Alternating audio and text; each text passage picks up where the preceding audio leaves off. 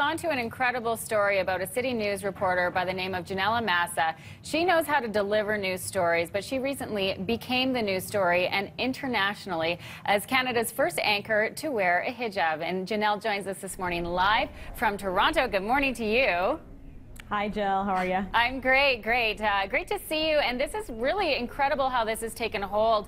Um, so let's find out your reaction to the response that you received following uh, anchoring the news, and then you earned international attention. It really took fire from there.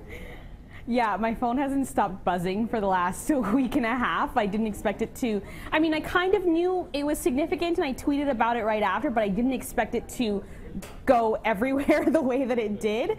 Um, and the reaction has been overwhelmingly positive. People who have said, oh wow, we haven't done this in Canada, you know, it's about time. Or people who've been watching my work and say, hey, great for you, you know, it's a career milestone.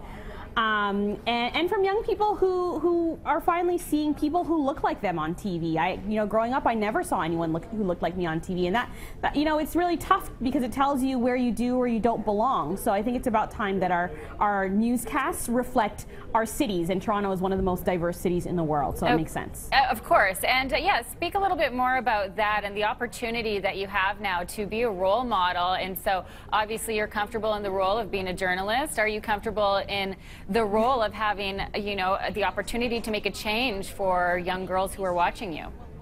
Yeah, absolutely. And I think that my number one goal has always been to be a good journalist and to be the best journalist that I can be. That's the measuring stick that I want people to use when they look at my work. Um, I don't want anyone to ever say, "Oh, she doesn't belong there." Oh, it was a you know it was a token hire, and, and you know maybe you know if if if I ever was hired for that reason, um, I still want to earn my place. Um, and yes, I think that it is important to see uh, um, our communities reflected in in the, the stories that we're telling. I I think that um, you know, everything that we do, if, you know, if you're black, if you're white, if you're a man, you're a woman, um, all of those things color your experiences, all of those things color your opinions, and you bring those experiences to the newsroom. So it's important that we tap into all of those diverse communities. Absolutely. And uh, to that point, I'm going to read a tweet that you posted just five days ago, and so much has happened since then. But you posted after two crazy days off, I'm back at work today, hoping we can start to focus on the stories I tell instead of what I'm wearing.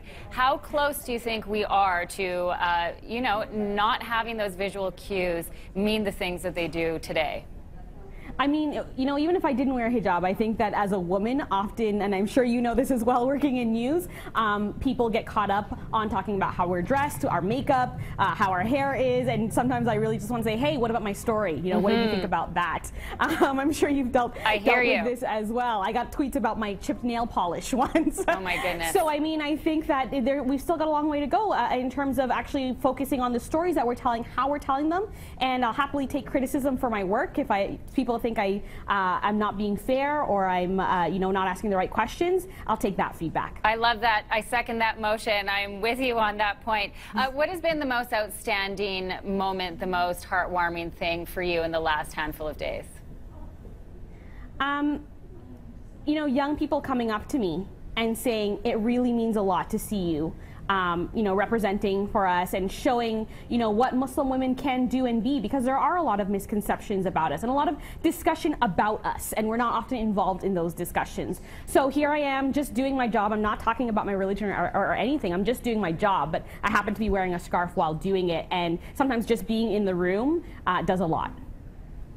Well, Ginella, we appreciate and are inspired by your story. Thank you so much for sharing some time with us this morning, and we wish you continued success. Thanks so much, Jill. Thank you. Uh, pleasure to speak with Ginella Massa live from Toronto, who's a City News reporter and uh, Canada's first anchor to wear a hijab on commercial television.